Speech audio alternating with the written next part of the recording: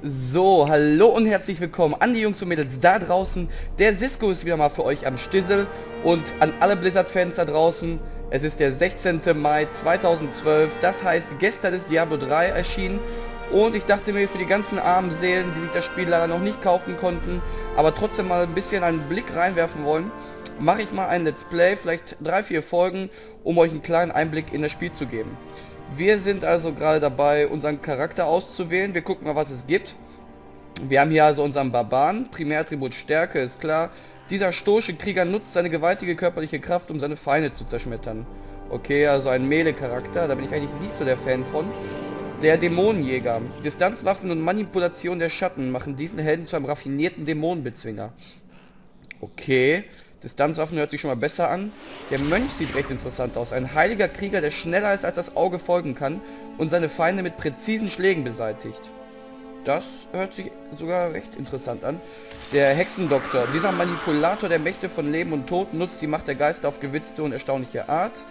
Okay, und der Zauberer ist ein Meister der temporalen und elementaren Energien, die, der Schöpf die die Schöpfung selber antreiben.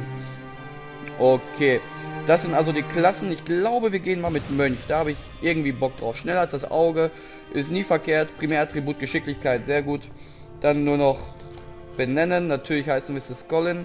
Helden erstellen und es sollte losgehen. Ne, noch nicht ganz. Stufe 1 ist Skolin Mönch. Sieht noch ein bisschen kahl aus. Ich hoffe, das wird sich gleich noch verbessern. Dann gucken wir mal. Okay, anscheinend gibt es jetzt erst noch mal einen Ladebildschirm.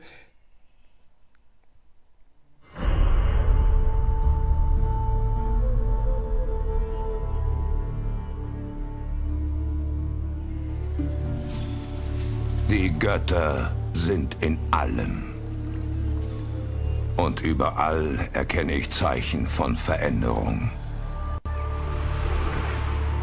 Der Wind trägt eine unnatürliche Kälte mit sich.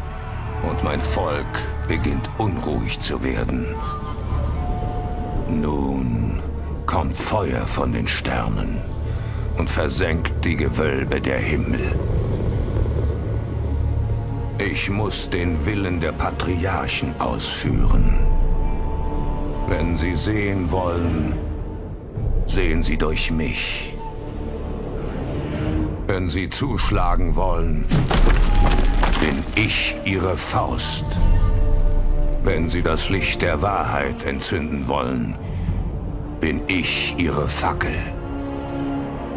Sie haben mich an den Ort geschickt, an dem die himmlische Flamme niedergegangen ist. Mein Geist ist klar. Ich werde Tristram von den wandelnden Toten befreien, die nach dem Feuer kamen. Mhm. Das war also die Cutscene von Mönch. Alles klar, dann gucken wir mal, wie wir ich uns kann bewegen. Angst und Tod riechen. Der gefallene Stern ist nahe. Okay, wir suchen also nach dem gefallenen Stern. Und äh, ja, mal sehen, wie wir gleich angreifen und solche Scherze. Also bewegen ist kein Problem. Mit der linken Maustaste einfach eben gedrückt halten. Und... Ah, bam. Ah, ich muss noch zweimal draufhauen. Alles klar. Das war also der erste Gegner, den wir locker besiegt haben. Zack, zack. Schneller als das Auge sehen kann. Alles klar, Mönch. Du hast es drauf. Ich habe noch kein zweites Skill. Alles klar, das heißt, ich kann im Moment nur mit der linken Maustaste draufhalten. Aber das sieht doch soweit schon mal ganz gut aus. Neu Tristram. Aha, aha. Hauptmann Rumford. Der Hi. gefallene Stern hat das Gleichgewicht dieses Landes gestört. Ich suche nach ihm. Er ist in die Kathedrale eingeschlagen. Es gab nur eine Überlebende. Lea. Ihr solltet mit ihr sprechen. Hauptmann Runford, da sind noch mehr! Okay. Oh, was? Wir Da können sind die noch mehr. Tore nicht öffnen, bis wir sie zurückgedrängt haben. Ach so, ich muss erstmal die Toten jetzt zurückdrängen. Ja, jetzt habe ich übrigens doch anscheinend einen Melee-Charakter genommen, aber okay. Nicht so schlimm, sobald wir unsere erste Waffe haben, wird das schon wieder besser. Oh, das sind aber einige Monster, die mir echt zukommen, aber ich habe ja Hilfe. Das ist ja nicht verkehrt. Auferstanden heißen die also, okay. Abgeschlossen. öffnet das Tor. Ich habe noch nie jemanden so kämpfen sehen. Ihr Ja, findet Lea im Gasthaus zum geschlachteten Kalb. alles klar. Lea weiß also, was mit äh, was es mit diesem gefallenen Stern auf sich hat. Alles klar. Hier werden anscheinend Leichen verbrannt, wie es aussieht. Okay. Die brennenden Leichen Die. Toten suchen uns heim, seit das verfluchte Feuer herabkam.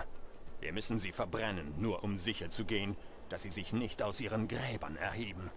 Ah, okay. Ich bin gekommen, um mehr über den Fall des alten Tristram zu lernen. Das hier ist näher an der Geschichte der Stadt, als mir lieb ist. Okay, also die Leichen kamen also zur gleichen Zeit, als, äh, als dieser Stern vom Himmel gefallen ist. Erhaltet den Segen, ja sehr. Gnade der Uralten eure Seele erwärmen und Rechtschaffenheit euch durchdringen. Ja, alles klar. Bruder Malachai. Jo, er hat uns erstmal geheilt, alles klar. Was haben wir hier? Taschun, der Händler. Heute habe ich ein paar richtig Hm, hübsche eine Handaxt und ein Kurzschwert für 1400. Nee, das wollen wir noch nicht machen. Ähm, wir looten lieber erstmal. Äh, so, hier, oh, hier haben wir noch eine Truhe, eine Beutetruhe. Alles klar. Das ist übrigens von meinem anderen Spiel. Also, das gehört mir gerade alles noch gar nicht eigentlich als Mönch. Gasthaus zum geschlachteten Kalb, alles klar. So, hier müssen wir doch Lea finden. Da ist er. Seid ihr Lea? Rumford sagte, ihr habt den fallenden Stern überlebt. Das habe ich. Doch er riss meinen Onkel Deckard Kane in die Tiefen der alten Kathedrale. Ich versuchte ihn zu finden, doch die Toten erhoben sich bereits. Ich kam zurück, um die Miliz zu alarmieren, doch... Passt auf, die Verwundeten! Sie verwandeln sich! Oh, da verwand äh, verwandeln sich die Verwundeten und halten es für eine gute Idee, sich in Zombies zu verwandeln. Ich bin weiser geworden. Ich bin Für weiser geworden. Ist das der Tod? Alles klar, Stufe 2 heißt neue Fertigkeit. Was haben wir denn? Als Primär haben wir Donnerfäuste. Ähm, ihr greift ein Ziel mit einer Abfolge schneller Schläge an, äh, die Gegner zurückstoßen kann. Okay, das haben wir also. Aber wir können jetzt eine Sekundärfertigkeit nehmen. Ein fegender Tritt führt einen tödlichen Halbkreistritt aus, der effektiv gegen Kleingruppen ist, äh, kleine Gegnergruppen ist. So, alles klar. Den nehmen wir doch mal an, schließen und mal gucken. Oh, bam. Roundhouse Kick, Baby. Leas Zimmer. Hier war auch mein Tagebuch, da ist es. Seit sechs Tagen werden wir nun schon belagert. Onkel Deckard wird weiterhin vermisst. Hauptmann Rumford und die anderen verlieren die Hoffnung.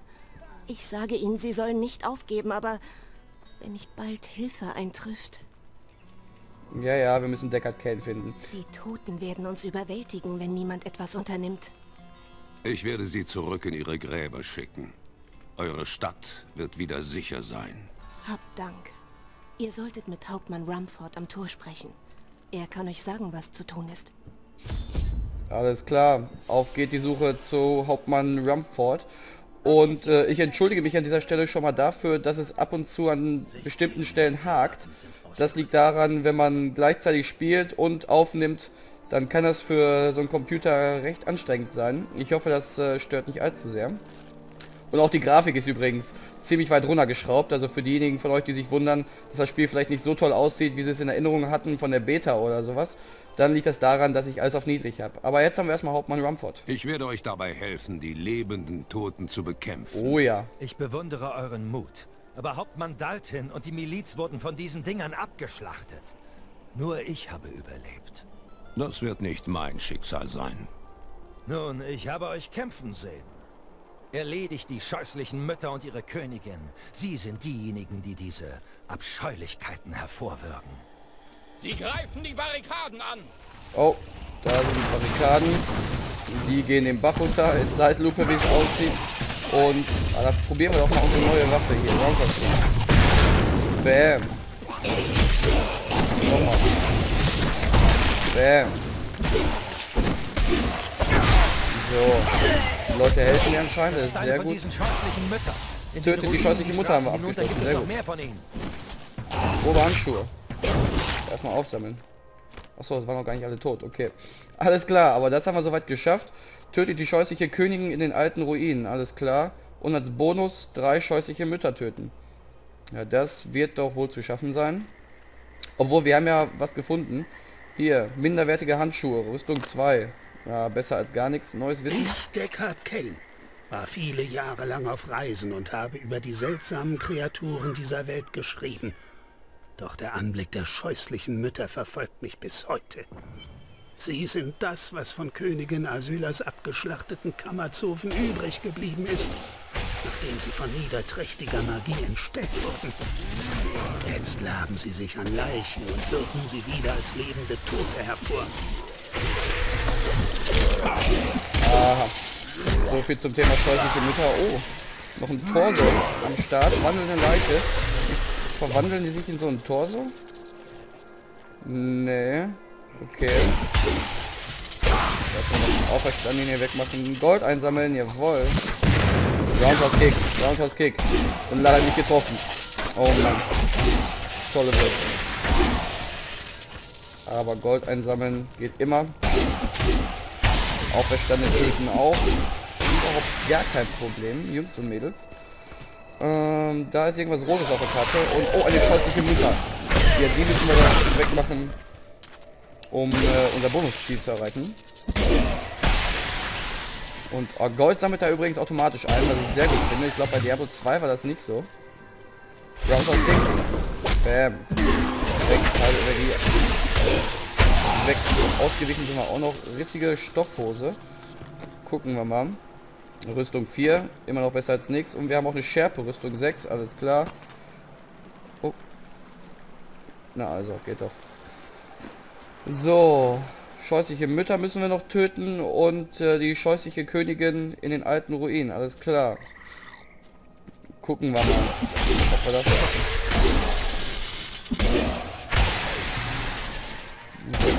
Baumstumpf, leider nichts drin. Das hier ist sowas wie ein Heilungstrank, sehr gut. Wir gehen mal an den Ecken des Levels erstmal vorbei.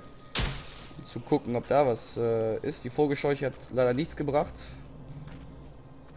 Ja, das sieht doch schon mal gut aus.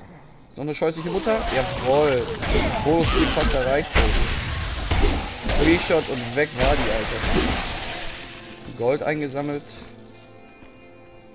Hier sind Destructible Fässer. Sehr gut.